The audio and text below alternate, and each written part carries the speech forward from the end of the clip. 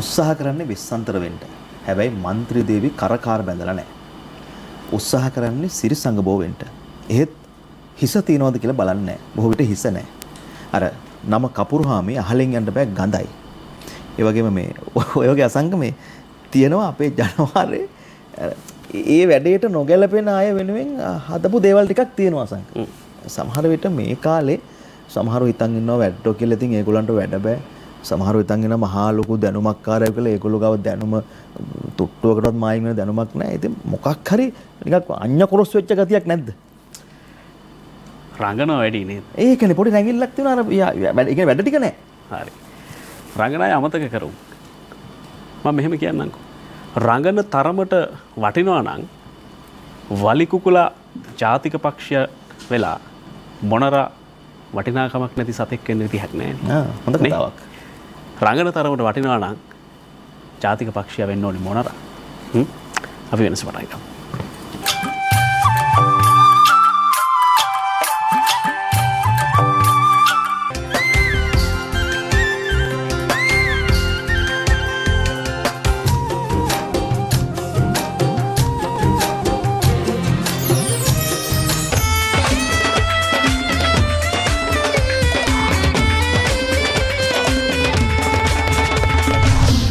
Música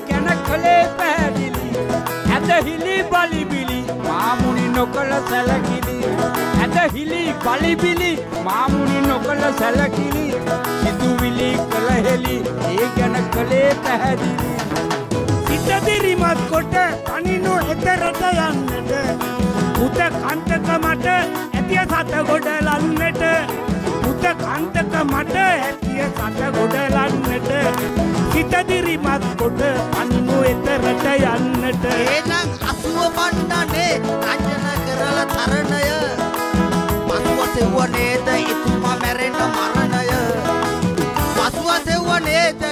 මැරෙන මරණය. අසුව පන්නනේ රංජන කරලා තරණය.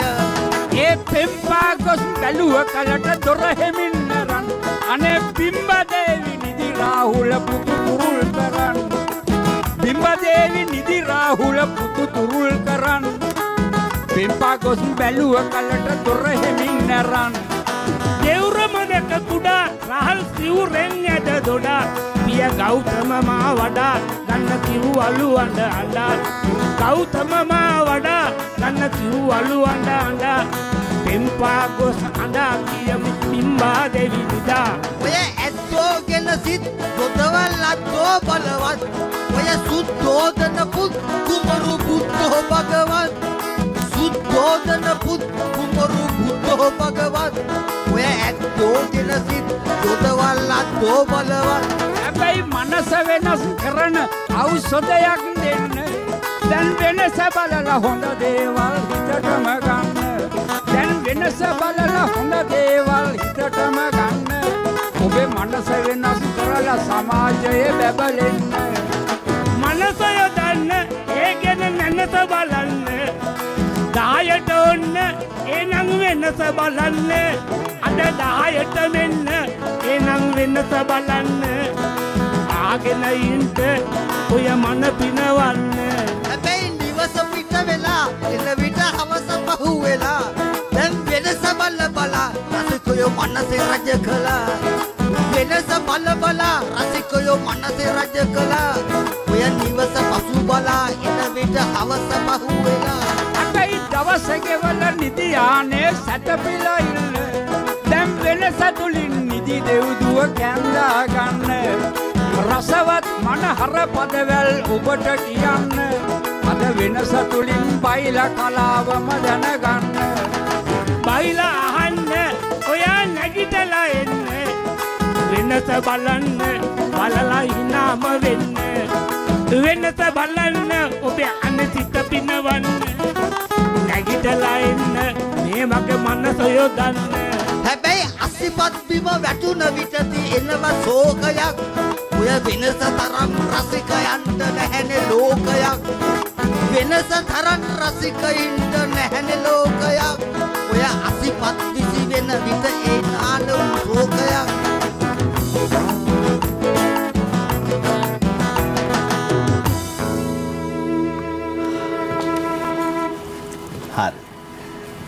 සුමතිපාල අයියේ ඔන්න අයිබෝන් කණ්ඩායමට මේ අදහෙට මොකක් හරි වැඩක් තියෙනව නේද? ඔව් ඒ කියන්නේ මොකක් හරි සංවසරයක්? තියෙනවා තියෙනවා. අපේ බය සමස්ත ලංකා සරල බයලා සංගමේ 53 වෙනි සංවත්සරේ 1968 මේ සංගමේ පටන් ගත්තේ. ඒ සංවසරත් එක්ක ඒ කියන්නේ ඔබටත් වටිනාකමක් තියෙනවා මම ආරම්භක සමාජිකයෙක් ඒකේ. ඔව් ඒ කියන්නේ සුමතිපාලය පටන් අරගෙනත් අවුරුදු 53 ඔව්. මම 1968 ජනවාරි මාසේ 27 වෙනිදා මගේ පළවෙනි වේදිකාව ඒක අපේ මේ බයිල සංගමයේ ඉතින් ඉස්සලා හිටපු ගුරුවරු ඉඳලා හැමදාම කොහොම හරි සංවත්සරය කරනවා. දැන් ඊට පස්සේ දැන් කාලයත් එක්කලා මම ඒක නායකත්වයට පත් වෙලා දැන් මේ 53 වෙනි වසර හැම- අපි අපි හෙමින් කතා කරගෙන යන් හැබැයි මට තව එක ප්‍රශ්නයකට උත්තරයක් දෙන්න සුමතිපාල අයියා. දැන් අද ගහන බයිලා සම්මතේ අපි හදාගත්ත වචනයක් කියනනේ බයිලා කියලා. කියන්නේ අද ඉතින් දේශපාලඥයෝ බයිලා ගහනවා කලාකාරයෝ බයිලානේ බයිලා. ගහනවා. ඕම බයිලා ගහනවා. බයිලා ගහනවා කියලාමනේ කියන්නේ. ඉතින් ඒක ඇත්තටම අහලම එපා වෙලානේ දැන්. දැන් ඒ බයිලයි මේ බයිලයි හරි වෙනස්. මේ මේක මේ රටේ පැවතිච්ච කලාවක්. සුමතිපාලයි. එතකොට මෙච්චර මේ වටින කලාවක් අර තුප්පැහි ගානට වැටිච්ච එක පිළිබඳව ඕගොල්ලෝ මේ කලාව රැකගෙන ඉන්න මිනිස්සු හැටියට මොන වගේ වේදනාවක්ද හිතේ තියෙන්නේ? මෙහෙම දෙයක් තියෙනවා මේ බයිලා කියන වචනේ පාවිච්චි වෙන්නේ ලංකාව විතරයි. ඔව්. මේක අපේ රටේ අපිට උරුම අපිට අනන්‍යතාවය තියෙන අපිට ආවේනික කලාවක් මේක. බුදුහාමුදුරන්ගේ ශාසනයේ හිටියේ නැද්ද දෙව්දත්ලා? බුදුහාමුදුරන් ශාසනයේ හිටියේ නැද්ද එක විස්මිත වැඩ කරන්න පුළුවන් අම්බකොරන් කන මිනිස්සු හිටියේ නැද්ද? හිටියනේ. නමුත් බුදුහාමුදුරන්ගේ ධර්මයේ කියන එක අවුරුදු 2500ක් ගිහිල්ලා තාම නොනැසී තියෙනවා. අර ධර්ම තියෙනවද? බඩගෝස්තරවාදයට ඕන දෙයක් විකුණන් කන්න පුළුවන් මිනිස්සු ලංකාවේ ඉන්නේ. අපි විකුණන් කන එක දෙයක්ද? යථාර්ථය නොනැසී. යථාර්ථය. අපි හිතනවා මේ අද හොඳම වෙලාවක් වෙයි මේ ගැන කතා කරන්න සහ මේ ගැන දිගින් දිගටම ඔබ දැනුවත් කරන්න. බලන්න වෙලාව කීයද කියලා.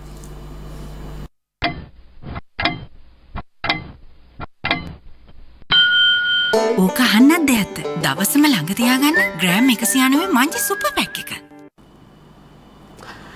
හරි. වෙලා හොඳයි. පළවෙනි ගමන යන්න. පළවෙනි ගමන අපි ගේ සතිය නතර කරපු තැනකින් පටන් ගන්න තිය. සමාජයට අපි කාලෙන් කාලට විධ මාතෘකා ගේනවා. මාතෘකාවක් විතරක් අපි ගැන ලතාරින්නේ නෑ. සමහරලාට මේ සම්බන්ධව ඔබට හිතන්න යමක් ඉතුරු කරනවා. අපිට මාතෘකානං ඕන තරම් මිනිස්සු ගේනවා. නිකං තැන්තැන්වල කතා කරන්න දේවල් දාන හැබැයි වටිනාකම් තියෙන තනක් අපිට හම්බෙනවද? අපි මොහොම ආදරෙන් මොහම සෝදශීලීව ඔබත් එක එක බෙදාගන්න මේ පහුගිය සතියේ කතාවේ අන්තිම කොටස.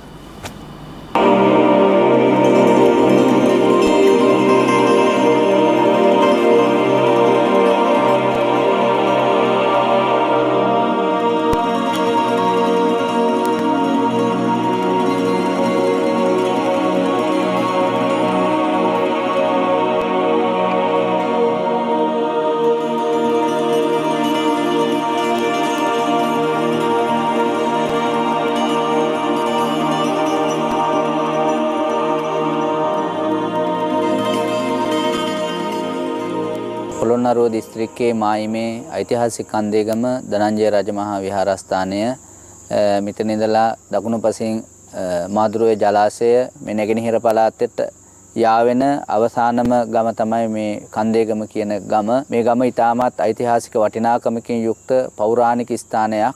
විශේෂයෙන්ම අවුරුදු 30000කට එපිට ඉතිහාසයක් මේ ස්ථානයට තියෙනවා කියලා වර්තමානයේ පුරාවිද්‍යාඥයන් හොයාගෙන තියෙනවා. මෙහි තියෙන එකම සෙල්ලිපිය තමයි පන්සල පිටිපස්සේ තියෙනවා.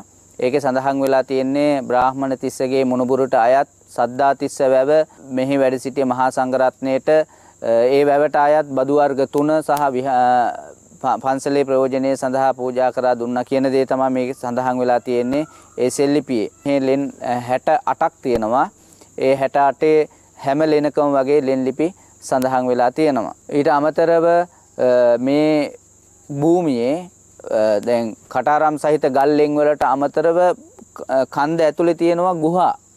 විශාල ගුහා සංඛ්‍යාවක් තියෙනවා එකක් දෙකක් නෙමෙයි සියක් දහසක් තියෙනවා මේ කන්ද පර්වතය මේ කඳු වැටියේ දිගට මේ ගුහා තියෙනවා. ඒ හැම ගුහාවකම මිනිස්සු ජීවත් වුණා කියන සාධක විශාල ප්‍රමාණයක් තියෙනවා. විශාල මුට්ටි. මං හිතන්නේ වර්තමානයේ වගේ මුට්ටියක් හදාගන්න පුළුවන් කමක් නැහැ මිනිස්සුන්ට. අවුරුද්දකට විතර එහාදී හම්බ වුණා විශාල මුට්ටියක දාපු වී වර්ගයක්. ඇට දිග මේ පොත්ත විතරයි තියෙන්නේ. වී වර්ගයක් කොහොම හෝ වේවා මෙහි ගොවිතැන් කටයුතුත් සිද්ධ කරලා තියෙනවා කියලා අපිට විශ්වාස කරන්න පුළුවන්කම තියෙනවා. ඊට පස්සෙත් අපිට තව ලෙනක විශාල ලෙනක් ඇතුලේ මුට්ටියක් හම්බුණා. ඒකෙදි තිබුණා අපිට හම්බ වුණා මේ පොඩි සිප්පි කටු වර්ගයක්. ඒ කියන්නේ මුට්ටිය කැඩිලා ඒ කෑලි තියෙනකොට නිකන් ඉන්නකොට ඒ කෑලි ඇද්දාම ඒ සිප්පි කටු වගේ ඒවා එනවා. එතකොට අතීතයේ මිනිස්සු මේකේ ජීවත් වුණා කියන්න පුළුවන් විශාල සාධක ප්‍රමාණයක් මෙහි තියෙනවා. හැබැයි මේ මැටි කර්මාන්තයෙන් ජීවත් වුණ බොහෝ මේ මිනිස්සු ප්‍රමාණයක් තමයි ජීවත් වුණා කියලා කියන්න පුළුවන් සාධක තියෙන්නේ. එතකොට මං හිතන්නේ යකඩ අරම මේවා පාවිච්චි කරලා නැහැ. ගල් ආයුධ කෑලි එහා පැත්තේ චෛත්‍යයෙන් හම්බ වෙනවා. එතකොටත් අපි විශ්වාස කරන්නේ මේ ගල් ගල් ආයුධ හම්බ වෙන කියන්නේ పూర్ව ප්‍රාථමික යුගයේ මුල්ම යුගයේ එතකොට මිනිස්සු යකඩ හොයාගෙනත් නැති කාලේ මිනිස්සු ජීවත් වුණා කියන්න පුළුවන් සාධක තමයි මෙහි තියෙන්නේ. මෙතන විශාල දේවතා ආකර්ෂණයක් තියෙන තැනක් හේතුව තමයි හවස 6 7 වගේ වෙනකොට විශාල දේවතා එලි අහසේ ගමන් කරනවා පේනවා බොහෝ අය තර්ක කරනවා මේවා දේවතා එලි නෙමෙයි උල්කාපාත කඩන් වැටෙනවා කියන එක. උල්කාපාත කඩන් වැටෙනවා නම් උඩ ඉඳලා පහළට වැටෙනවා. මේකේ තීර්යයක් හරහට ගමන් කරන්නේ. එතකොට අපි විශ්වාස කරන විදිහට දේවතා එලි. අපේ ධාතු මන්දිරය මීට අවුරුදු 5කට 4කට 5කට උඩදී හොරු කැඩුවා. ඊට පස්සේ අපේ අපවත් වුණ නායක හඳුරු මාවනැල්ලේ සිරස අලංකාර අපේ නායක හඳුරු උන්වහන්සේ CCTV කැමරා සවිකරා කීපයක් ඒවට වැදිලා තියෙනවා දේවතා එලි කීපයක් චෛත්‍යයේ වටේ පැදකුණු කරනවා සහ ධාතු මන්දිරේ ගමන් කරන ආකාරය. ඊට අමතරව බෝධි පූජාවක් හෝ ධර්මදේශනාමය පින්කමක් පිරිත් පින්කමක් කරොත් එහෙම විශේෂයෙන්ම අනිවාර්යයෙන්ම ඒ වගේ එලි අපිට පියවියෙන් දැක ගන්න පුළුවන් කමක් තියෙනවා. ඒ වගේ දේවාකර්ෂණයේ තියෙන ප්‍රධානම ස්ථානයක් විදිහට අපිට මේක මේ ස්ථානය සලකන්න පුළුවන් කමක් තියෙනවා. සංචාරකයෝ මේ වෙන විට මං හිතන්නේ දානිගල කියන වචනයත් එක මේ ප්‍රසිද්ධයි මේ තැන. ඒක නිසා බොහෝ සංචාරකයෝ මේ දෙස් විදෙස් සංචාරකයෝ මෙතෙන්ට එනවා.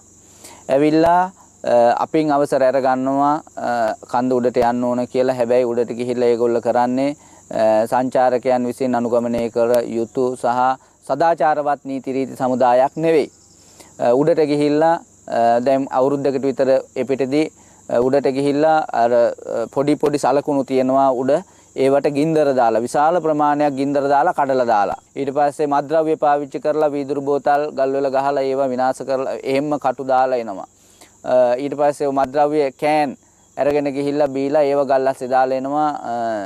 ගමේ දරුවොත් එක්ක අපි ගිහිල්ලා එක සැරයක් ඒ මද්ද්‍රව්‍ය කෑන් අරගෙන ආවා උර පහක් හයක් ගෙනාවා එතකොට සංචාරකයන් ගෙන් ඉල්ලා සිටින්නේ අපි සංචාරයට එනවා නම් පන්සලේ තියෙන නීති රීති සමුදායත් අනුගමනය කරලා විශේෂයෙන්ම පරිසරය දකින්න තමයි එන්නේ ආධ්‍යාත්මික සුවයක් විඳින්න ඉන්නේ මෙතන විහාරස්ථානයත් එක්ක ගොඩ නැගුණ පරිසරයක්. එතකොට මේ පරිසරයේ ආධ්‍යාත්මික සුවය විඳින්න ඕන අපි සාමාන්‍ය ජීවිතේ මහා විශාල බරක් ගොඩනගාගෙන හිසේ තියාගෙන ඇවිදින මිනිස්සු මෙතෙන්ට ආපුහාම කුරුල්ලන්ගේ ශබ්දය පරිසරයේ නිහඬත්වය විඳගෙන ඒ පරිසරයේ තියෙන ආස්වාදයේ විඳින්න තමයි මෙතෙන්ට එන්න ඕන. අපි තීරණය කරා ඒක නිසා ගමේ දරු දැන් මෙහි ගොවිතැන් සහ දීවර කර්මාන්තයෙන් ජීවත් වෙන බහුතරයක් මිනිස්සු ඉන්නේ ඇත්තම රැකියාවක් නැහැ. ඒක නිසා අපි තීරණය කරා ගම්වාසී හැමදෙනාමත් එක්ක එකතු වෙලා එන සංචාරකයන්ට මඟ පෙන්වන්නන් කීප දෙනෙක් ගමෙන් දෙන්න. එතකොට ඒගොල්ලන්ගේ ආර්ථිකයත් ගොඩ නැගෙනවා. එතකොට ඒගොල්ලන්ටත් ලොකු අනුග්‍රහයක් බවට පත් වෙනවා. කොහොම වුණත් අපි තනි තනි වෙන කණ්ඩායම් තනියෙන් නගින්න දෙන්නේ නැහැ. හේතුව මේ පරිසරය ආරක්ෂා කරගන්නත් ඕන. ඒ වගේම මේ නිදහන් සලකුණු කියන ඒවා ආරක්ෂා කරගන්නත් ඕන. නිදහන් තිබුණත් නැතත් මේ සලකුණු කියන ඒවා අපිට ලොකු වටිනාකමක් තියෙනවා. මොකද අපේ ඓතිහාසික කලා කලාකරුවන්ගේ නිර්මාණ. ඉතින් මේවා කඩලා විනාශ කරලා දැම්මොත් එහෙම ඇත්තටම අපේ ඉතිහාසයේ තිබුණ කලාකරුවන්ගේ ස්වභාවය අපෙන් ගිලිහිලා යනවා. අපේ අනාගතයේ දරුවන්ට ඒවා බලන්නවත් නැති වෙනවා. ඒක නිසා මේවා ආරක්ෂා කර ගැනීම අපේ යුතුයකමක් නිසා අපේ නීති රීති සමුදායක් අපි සකස් කරලා තියෙනවා විහාරයෙන් එන සංචාරකයන්ට අපි මතක් කරනවා මේ නීති රීති සමුදායට අනුව ඒ සංචාරය කරලා ඔබට ආධ්‍යාත්මික සෝයක් විඳින්න ඔබේ මානසික තෘප්තියක් විඳින්න පුළුවන් විදිහට මේ පරිසරය ගොඩනගාගෙන ඒ විඳලා මෙතන ඒ හැසිරෙන්න කියන කාරණය පිළිබඳවත්.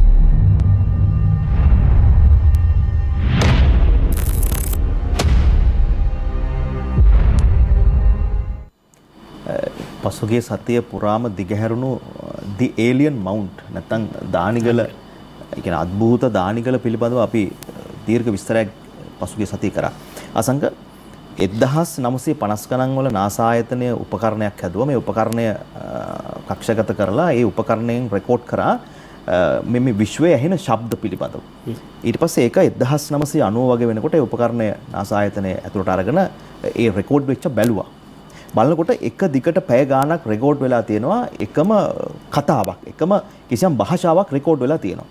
පස්සේ මේක ඒගොල්ලන්ට හොයාගන්න බෑ මොකද්ද කියලා. නමුත් ශ්‍රී ලංකාවේ මිනිස්සු නාසා ආයතනයේ වැඩට යනවත් එක්කම ඒ උදවියට දාලා බැලුවා මොකද්ද මේ කියලා බැලිනම් මේ බුදුවරු දේශනා කරපු ධර්මයේ මාගදී ශබ්ද සංඥා රෙකෝඩ් වෙලා තියෙනවා. එතකොට දැන් මෙහෙම දේවල් මේ මේ සමාජය තුල තියෙනවා සංක. එතකොට පිට සක්වල ජීවෙන් වෙන්න පුළුවන්. මේවා මේ කොහෙන් ඇහුණ දේවල්ද? ඉහළ අභ්‍යවකාශයේ කොයි කොයි සක්වල වලින් ඇහිච්ච ශබ්දද මේවා? සමහරට මේ පෘථිවි තලයෙන්ම මතුවෙච්ච දේවල්ද? හැබැයි පිටසක්වල ජීවීන් හා සම්බන්ධයෙන් ඇයි මේ දානිගල මෙතරම් වැදගත් වෙන්නේ? දානිගලට එනවනම් එන්නේ මොන හේතුවක් නිසාද? පිටසක්වල ජීවීන් දැන් අසන්ත ගියසුමානේ මට මතකයි අසන්ත කිව්වා. ඒ කියන්නේ අපිත් එක්ක ගියපු කෙනා ගමේ ළමයා. එයා කිව්වා මේ ඩොල්ෆින් මෑන් එකක් වගේ පෙට්ටියක් 2019 පෙබරවාරි මාසයේ ඒගොල්ලෝ පොයක් දවසක ඉන්නකොට මේ ගල මතට ගල් පෘෂ්ඨය මතට ආවා කියලා දැන්. මේව මේ ආවට ගියාට කියන මේ ඒ කියන අපබ්‍රංශ නෙමෙයි අසන් මෙහෙම දේවල් තියෙනවා. ඒ නිසා මේ අපි මේ ගමන ගියේ මේ ස්ථානයේ වැදගත්කම කියන්නටත් සහ මෙවැනි දේවල් මේ පෘථිවි තලයේ තියෙනවා. ඒවා තියෙන්නේ ලංකාවේ කියන එක කියන්නටත් ඔබට විශේෂයෙන් මතක් කරන්න මේ ගමන ගියේ. හැබැයි ඔබ යනවා නම් දානිගල පන්සලෙන් නීති රීති පනවලා තියෙනවා කියලා කිව්වා. ඒ නීති රීති මේ එල්ලලා මරන්න එහෙම දාපු නීති රීති නෙවෙයි. ඔබ චර්යා ධර්ම රැසක් සමගින් යන්න එවිට ඔබට බොහොම වැදගත් විදිහට මේ ගමන ගිහිල්ලා එන්න පුළුවන්. උඩට ගිහිල්ලා අර කිව්වත් වගේ ටින් දාලා ආතල් ගන්න යනවා නම් ඒක කරන්න එපා. මොකද උඩ සෝලර් සිස්ටම් එකේ සෝලර් පැනල් වගේක් ගහලා තියෙනවා. අසංක විශ්වාස කරන්න සියල්ලම ගල් ගහලා කුඩු කරලා. මේ ගියපු සංචාරක මේ අපේ මිනිස්සු කරලා තියෙන්නේ. ඉතින් ඒ වගේ සික්කිත වැඩ කරන්න ඒ තැන් වලට යන්න එපා. මොකද අපි මේ තැන් පෙන්වන්නෙම මේ රටේ වටිනාකම කියන්නත් මෙහි සංස්කෘතිය මතු පරපුරට පවරන්න ඔබ ඒ තැන් වලට යන්න කියන ආරාධනාවක් කරන්නත් මේ දේවල් වෙනස හරහා පෙන්වන්නේ. ඉතින් අපි ස්තුතිවන්ත වෙනවා අපේ විශේෂයෙන් අපේ ඔය හාමුදුරුවෝ ස්වාමීන් වහන්සේලා රැසක් වැඩ ඉන්නවා මේ විහාරස්ථානේ. ඒ වගේම අපිට මඟ පෙන්නපු අසන්තලා ගමේ බොහෝ දිනක් අපිට මඟ පෙන්න ඔය හැම කෙනෙකුටම අපේ කැමරා කණ්ඩායම රොෂාන් අයියතුරු කණ්ඩායම මේ හැම කෙනෙක්ම රසික ඔක්කොම මහන්සිලා මේ ගමන ගියේ. ඉතින් අද දානිගල අවසන් කොටස. දානිකල ඒ තරම් වටිනවන මට තින ප්‍රශ්නය මේ ඔක්කොම හගෙන හිටියම්. ඒ තරම් වටිනවන ඇයි අපේ අපේ අපේ අතර හැංගිලා තියෙන්නේ. සමාජයට එච්චරට මෙලියට නැත්ත කියලා මට හිතුණා. දන්න ඒකට හේතුව සාධාරණ හේතුවක් තියෙනවා. අසාධාරණ හේතුවක් තියෙනවා. සබාදහම සංගවන දේවල් කොහොමත් සංගවනවා සංක. ඒවා කොච්චර උත්සාහ කරත් මිනිස්සු එළියට ගන්න ඒ එළියට දෙන්නේ නැහැ. වටින දේවල් හංගලා. ඒක ධර්මතාවය. හරි. අපි මේ එකක් අර ඔය ඔය කන්දර පැත්තේ තව කන්දක උඩ වැවක් තියෙනවා කියලා කිව්වා. විශාල බලන්න පුළුවන් නේද? ඉස්සරහට අපේ රසික යනවා කියලා ඒක. අක්කර දෙකක් විතර ලොකුයි. අක්කර දෙකක් දෙකමාරක් ලොකු විශාල වැවක් උඩ තියෙනවා. ඉතින් මේ සම්බන්ධයෙන් අපි පොඩි ගවේෂණයක් කරන්නත් අද හෙටම යන්න හිතන් ඉන්න. හෙට ඉතින් ඔබට තියෙන මේ පළවෙනි බලාපොරොත්තු තමයි දානිගල ගිහින් එන එක. අර කිව්වා වගේ පරිශ්‍රමට සහ ස්වභාව ධර්මයට කිසිම හානියක් නොකර අපේ නමත් රැකෙන විදිහට නේ වෙන සහරහානය ඔබ දකින්නේ. ඔව් නැත්නම් ඔක්කොම බබික්සුම් බබිගේ අම්මසුම් ඒ ඔක්කොම වෙලා. අර ඒ නිසා ඒ ගැන අවධානයෙන් ඉන්න. ගඟ ගලයි ගඟ ගලන හඬ නොවැසෙයි සිත හඬයි සිත හඬන හඬ නොවැසෙයි. හැබැයි හිත හඬන්න කෙනෙක් නැහැ. නමුත් ගඟ ගලනවා.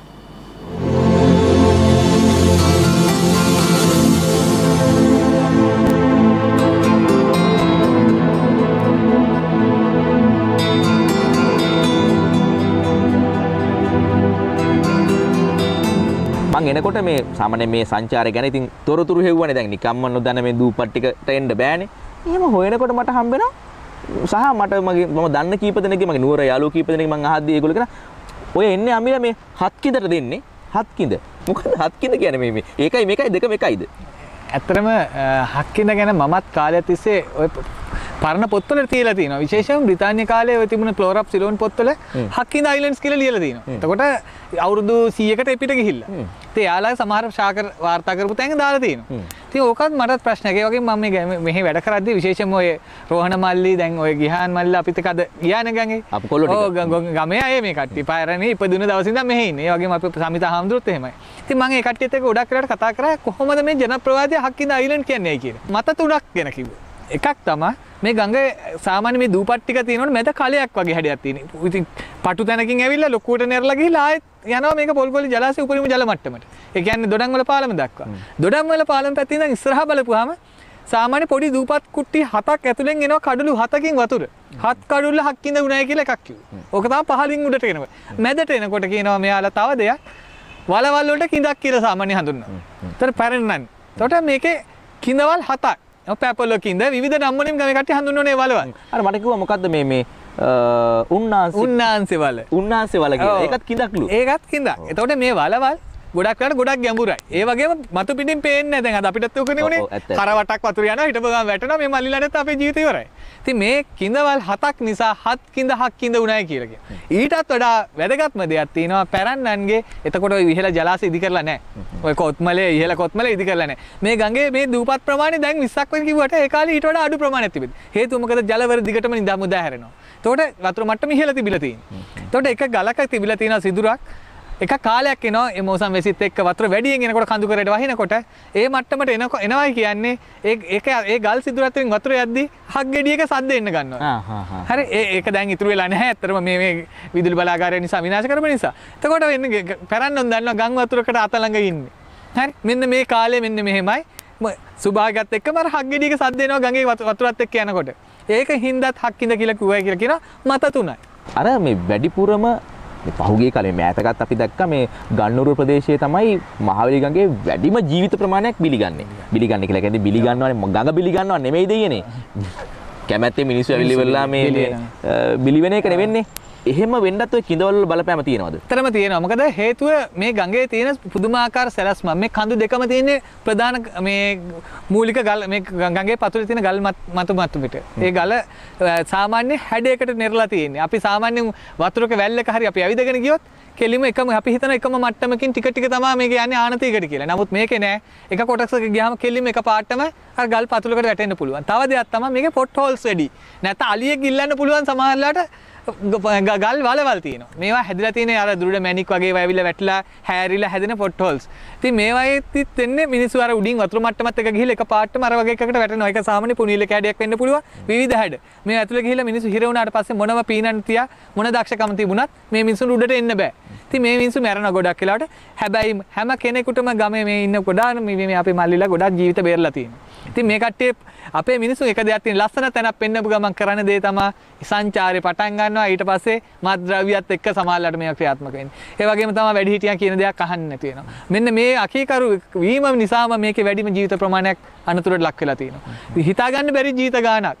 ඒ කියන්නේ සුළු මොහතකින් ඒ කට්ටිය බේර ගන්න බැරි වෙනවා. ඉතින් මෙතන ඇත්තටම අනතුරුදායකම ප්‍රදේශයක්. පේන්නේ වතුර හරි අඩුවෙන් පේනවා නමුත් අනතුර ඊටාම දැඩිව තියෙන තැන.